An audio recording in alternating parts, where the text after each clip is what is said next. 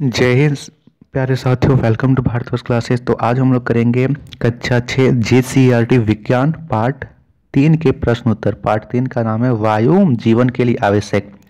तो पहला प्रश्न कहता है कि इनमें से सही शब्द का चयन कर रिक्त स्थानों की पूर्ति कीजिए। हमें यहाँ पे दे रखा है कुछ शब्द और यहाँ पे कुछ वाक्य दे रखे हैं। इसमें हमें खाली शब्द की जगह में उस उचित शब्द भरना है। पहला है कि पृथ्वी के चारों ओर की वायु की परत कहलाती है। तो यहाँ पे खाली स्थान पे हम लोग को भरना है। वायुमंडल क्या भरेंगे? वायुमंडल। पहला पे भराएगा वायुमंडल। दूसरा है कि सभी जंतु श्वसन में वायु से लेते हैं। तो सभी जंतु श्वसन में वायु से कार्बन डाइऑक्साइड लेते हैं। सेकेंड आ जाएगा। जलने में कौन सी गैस सहायक होती है? तो जलने में ऑक्सीजन गैस सहायक होती है। थर्ड नंबर पे भरोगे। गतिशील वायु को कहते हैं। गतिशील वायु को पवन कहते हैं। क्या कहते हैं? पवन। तो यहाँ पे फोर्थ नंबर पे आप लोग भरोगे पवन। ये जो पवन है, उसे यहाँ पे भर देना है। वायु में सबसे अधिक गैस है। तो वायु में सबसे अधिक गैस का प्रतिशत नाइट्रोजन का होता है। तो पाँच नंबर पे क्या भरोगे? नाइट्रोजन। लगभग सेवेंटी नाइन प्रतिशत नाइट्रोजन होती है। ठीक है बच्चों, ये आप लोगों को नोट कर लेना है। चलिए प्रश्न संख्या दो को देखते हैं तो प्रश्न संख्या दो में हमें मिलान करना है। यहाँ पे दे रखा है खंड का और खंड खा, इन दोनों को मिलान करना है। तो चलिए हम यहाँ से मिलान कर लेते हैं इसे। पहला है हवा। तो हवा क्या होती है? गतिशील वायु को हवा कहते हैं। का का मिलान करोगे? ऑक्सीजन। तो ऑक्सीजन अभी मैंने बताया कि जलने में सहायक होती है। नाइट्रोजन। नाइट्रोजन जलने में सहायक नहीं है। चौथा दे रेखा वायु। तो वायु पारदर्शी है। वायु को आप लोग देख नहीं सकते हो। सिर्फ़ महसूस करते हो कि हवा चल रही है तो आपको ठंडी लगेगी या फिर आपके बाल उड़ेंगे। ऐसा कुछ हो सकता है तो आप पता करोगे कि वायु है। ठीक है? और किसी भी खाली स्थान पर वायु मौजूद होती है।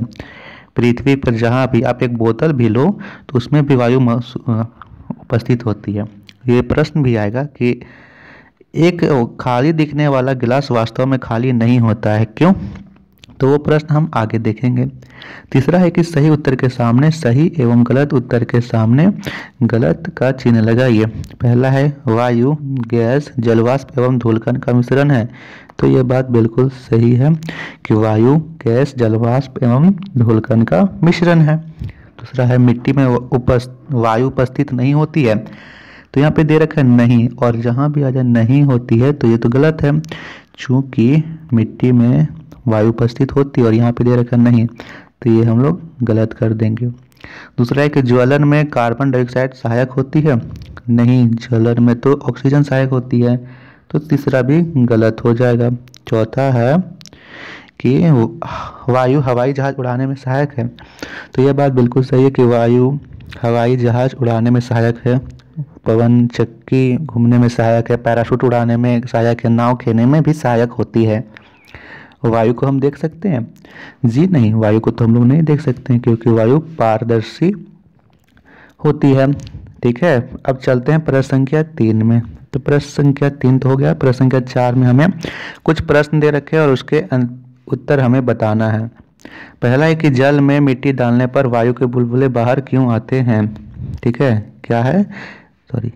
वायु के संगठक क्या हैं? पहला प्रश्न है कि वायु के संगठक क्या है? तो इसमें लिखेंगे हम लोग कि वायु और नाइट्रोजन, ऑक्सीजन, कार्बन डाइऑक्साइड, जलवाष्प धूलकन आदि गैसों का मिश्रण है। कौन कौन सा? नाइट्रोजन, ऑक्सीजन, कार्बन डाइऑक्साइड, जलवाष्प धूलकन आदि गैसों का मिश्रण है।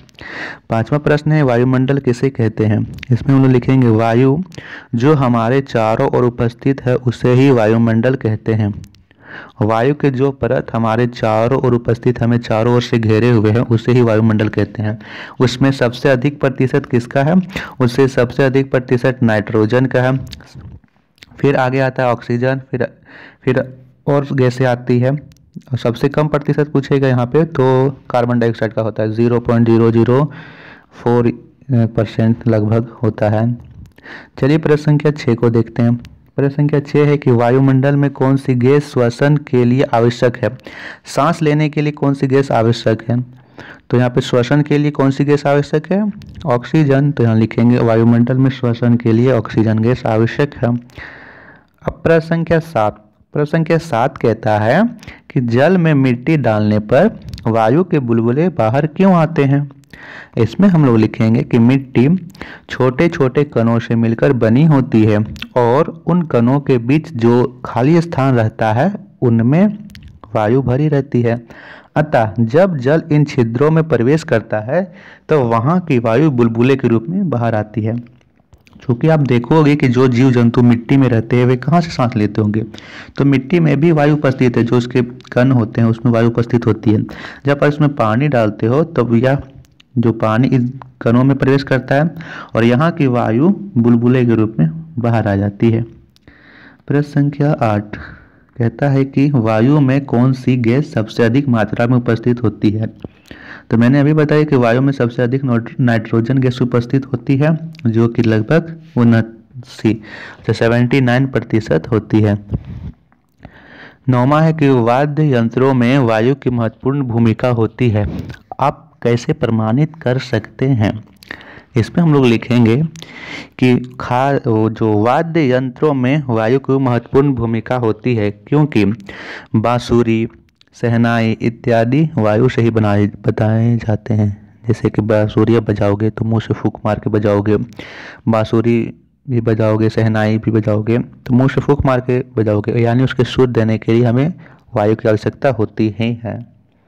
और यहाँ पे दे रखा है कि वाद्य यंत्र तो वाद्य यंत्रों में तो वायु की महत्वपूर्ण भूमिका होगी ही। प्रश्न संख्या दस है कि आपको कैसे पता चलता है कि वायु में जलवाष्प है। तो इसमें हम लोग लिखेंगे कि वायु में जलवाष्प उपस्थित होता है। यह पता करने के लिए हम निम्न क्रियाकलाप कर सकते हैं। का पानी का अत्यधिक गर्म होने पर उसका गायब हो जाना। जब आप एक बीकर या फिर एक कटोरे में पानी को गर्म करोगे और अत्यधिक गर्म करते जाओगे, एक एक समय के बाद देखोगे कि वह उससे कुछ निकल रहा है, उसे ही भाप कहते हैं। और यह कुछ समय बाद पानी गायब हो जाएगा। तो आखिर वह पानी गया कहाँ? वो जलवाष्प बन के उड़ गया। ठीक है?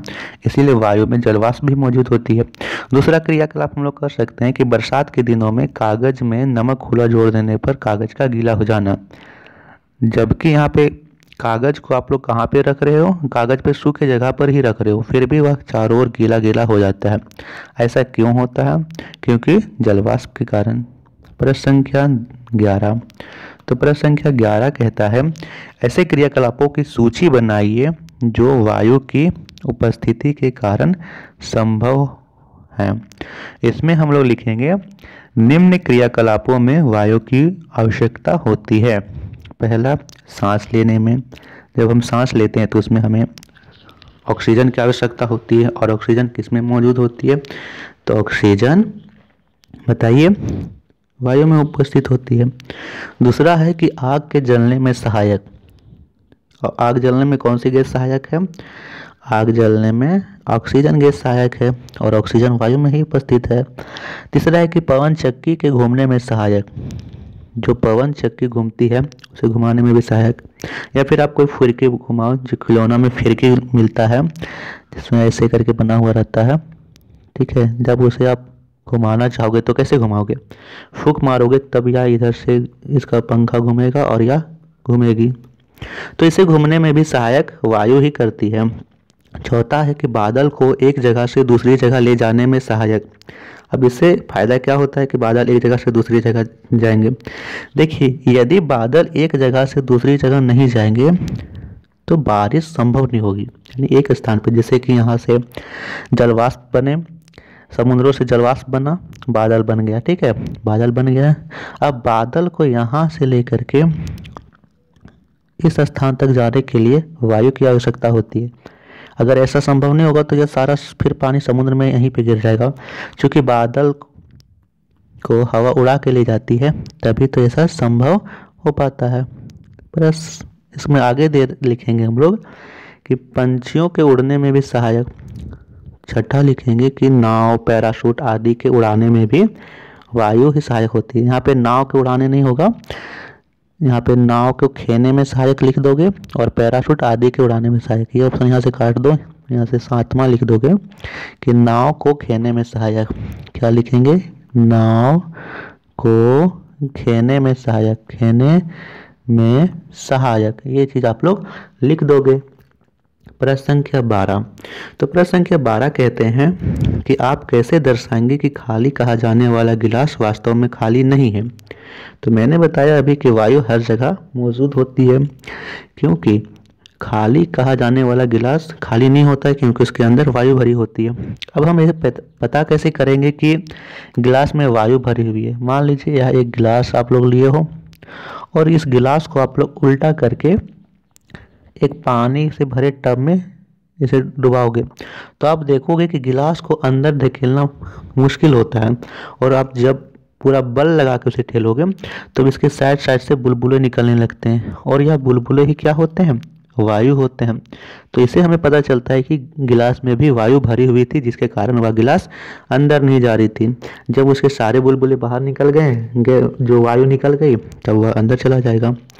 प्रश्न संख्या तेरह है कि मुँह से सांस लेना क्यों हानिकारक है? इसमें लिखोगे कि जब हम नाक से सांस लेते हैं तो हमारे नाक में छोटे छोटे बाल होते हैं, जो धूल कणों को छानकर शुद्ध वायु को अंदर भेजती है। जबकि मुँह से सांस लेने पर ऐसा नहीं होता है, क्योंकि मुँह पर कोई बाल नहीं होते हैं। जब सांस लोगे आप नाक से तो नाक में अनेक छिद्र होंगे। सॉरी, अनेक बाल होंगे जो धूल कण इत्यादि, जो भी कचरा होगा बाहर में, उसे सब छांक लेगा और फिर अंदर में शुद्ध हवा को भेजेगा। जबकि मुँह में तो ऐसा कोई बाल होता ही नहीं है तो सिर्फ़ जितना भी कचरा होगा, धूल कण होंगे, सारे हमारे मुँह में जाएँगे। इसीलिए आप कभी कभी देखोगे कि जब आंधी तूफ़ान आती है और आप मुँह खोल के सांस लेते हो उस समय तो आपके मुँह में कुछ धूल कण जैसा लगता है कि जैसे कुछ कण चला गया है। तो वो ऐसा क्यों होता है? क्योंकि वायु में धूलकण भी मौजूद होती है। जो सांस लेने पर हमें धूलकण भी अंदर आ जाता है। अब ऐसा तो नहीं है कि हम लोग सांस ले रहे हैं तो वायु में केवल ऑक्सीजन ही सांस लेंगे। ऑक्सीजन, कार्बन डाइऑक्साइड, नाइट्रोजन सभी सांस लेते हैं। लेकिन सभी गैसों को छानकर ऑक्सीजन ही हमें जो हमारे अंदर के क्रियाकलाप होते हैं, वही सहायक करती है। प्रश्न संख्या चौदह है कि अगर दो मोमबत्तियों को जलाकर अलग अलग आकार के गिलास से ढक देंगे तो कौन सी मोमबत्ती ज़्यादा देर तक चलेगी और क्यों? तो इसमें लिखेंगे बच्चों कि जिस मोमबत्ती को छोटे गिलास से ढका जाएगा, वह मोमबत्ती जल्दी बुझ जाएगी। क्यों? क्योंकि हमें पता है कि किसी भी खाली स्थान पर हवा उपस्थित होती है। हाँ जी, ये पता है। अगर अतः हम छोटे गिलास को कम हवा की उपस्थित यदि अतः छोटे गिलास में कम हवा उपस्थित होगी तो वह थोड़ी देर में मोमबत्ती बुझ जाएगी। बड़े गिलास के मोमबत्ती छोटे गिलास की अपेक्षा अधिक देर तक चलेगी। चूँकि गैस, देखिए यहाँ पे समझ लीजिए कॉन्सेप्ट क्या है। आग को जलाने में ऑक्सीजन गैस सहायक है, ठीक है? और जब, आप जानते हो कि किसी भी स्थान पे वायु उपस्थित होती है। छोटे गिलास में छोटी वायु, थोड़ी वायु उपस्थित होगी और बड़े गिलास में इससे अपेक्षा अधिक यदि आप इससे ढक दोगे मोमबत्ती को तो जितनी वायु होगी उतनी देर तक जलेगी, फिर बुझ जाएगी। और फिर इसमें अधिक देर तक क्यों चलेगी क्योंकि इसमें, इसकी अपेक्षा अधिक है। प्रश्न संख्या तेरह, प्रश्न संख्या सॉरी पंद्रह है कि वायुमंडल से ऑक्सीजन गैस समाप्त हो जाएगी तो क्या होगा? यदि वायुमंडल से ऑक्सीजन गैस समाप्त हो जाए तो क्या होगा? इसमें लिखेंगे कि यदि वायुमंडल से ऑक्सीजन गैस गायब हो जाएगी तो जीव जंतु का सांस लेना संभव, असंभव हो जाएगा और पृथ्वी से जीवन समाप्त हो जाएगा। देखिए, जिस प्रकार हम पेड़ पौधे पर डिपेंड है ऑक्सीजन के लिए, उसी प्रकार पेड़ पौधे भी हम पर निर्भर हैं कार्बन डाइऑक्साइड के लिए, क्योंकि हम कार्बन डाइऑक्साइड छोड़ते हैं, उसी से पेड़ पौधे अपना भोजन बना पाते हैं और उसी से वे अपना जो बोलते हैं पौधों में जो श्वसन होता है वो कार्बन डाइऑक्साइड से होता है और जो मनुष्यों में जीव जंतु में श्वसन होता है वो किससे होता है? ऑक्सीजन से होता है। तो दोनों एक दूसरे पर निर्भर हैं। हम लोग भी जीव जंतु इसमें निर्भर हैं, पेड़ पौधों पर और पेड़ पौधों भी हम पर एक तरह से निर्भर हैं। प्रश्न संख्या हो गया कंप्लीट तो धन्यवाद आप सभी का वीडियो देखने के लिए। चैनल पर नए हो तो सब्सक्राइब ज़रूर कीजिएगा। वीडियो पसंद आई तो वीडियो को लाइक ज़रूर कीजिएगा। बच्चा, इससे हमें भी मोटिवेशन मिलता है। मिलते हैं नेक्स्ट वीडियो में। तब तक के लिए धन्यवाद।